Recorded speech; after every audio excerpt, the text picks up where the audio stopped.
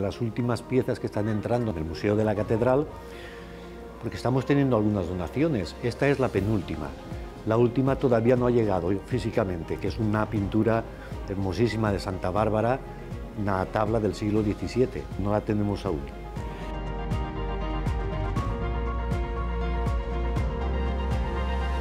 Esto es una pieza única de una altísima calidad y ha entrado en la catedral procedente del patrimonio del señor cardenal arzobispo que la donó a la catedral. Estamos muy contentos naturalmente de esto. El material básico es hierro dulce, se llama, que es un hierro que tiene muy poca cantidad de carbono.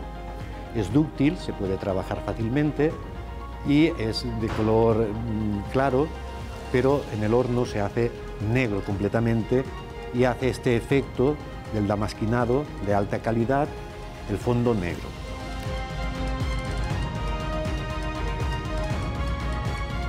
Esto es una pieza única de una altísima calidad, que es un copón, pero está desmontable en tres, en tres partes, hecho por el maestro damasquinador de Toledo, Mariano San Félix, que lleva el escudo del Papa Benedicto, Benedicto XVI.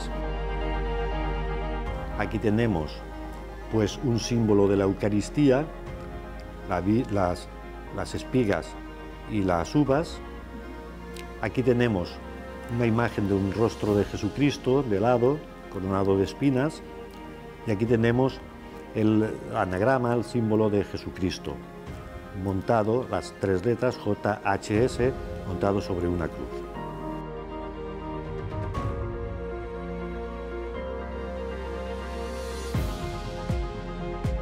Consta de tres piezas, una es la, base y el mástil, que está muy decorado, profusamente decorado, en estilo renacentista. En Toledo, en el damasquinado, distinguen el estilo renacentista y el estilo arábigo. La copa, la paz, la base y la tapadera son eh, decoradas en estilo renacentista. Todo el dorado que se ve es oro fino de 24 quilates, está todo trabajado profusamente, muy bien trabajado a mano por el maestro damasquinador.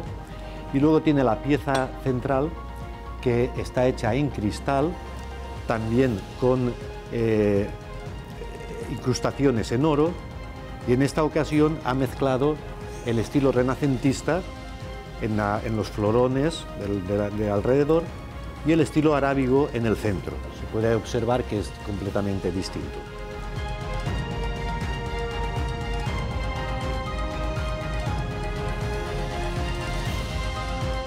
En el relicario del museo pues tenemos algunas reliquias y, eh, rodeadas de, relicarios ricos, pero también tenemos algo de la platería de la catedral, cálices del siglo, sobre todo del siglo XIX y del siglo XX, notables, y algún otro copón también. Y junto a ellos pues hemos puesto esta pieza que siendo del siglo XX, pero como es una pieza tan única, tan singular y tan rica, tan rica y tan bien trabajada, pues vale la pena, es una pieza de museo con toda claridad.